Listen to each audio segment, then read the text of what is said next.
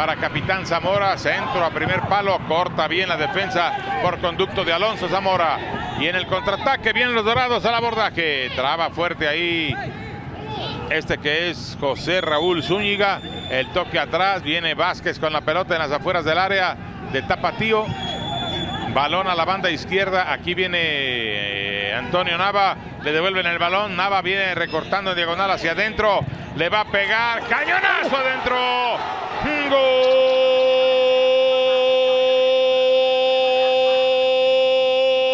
De Antonio Nava para los Dorados. Minuto 93. Creo que este arroz ya se coció. Nava pone adelante a los Dorados 1 a 3. Ve el pase que le pone Vázquez con un taconazo.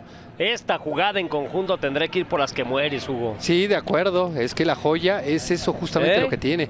La inteligencia, la claridad, cómo descomprime la acción con ese lujo, siendo además productivo y le permite a Nava quedar de frente a la portería. Apenas acomoda, él ya tenía en la imaginación lo que iba a buscar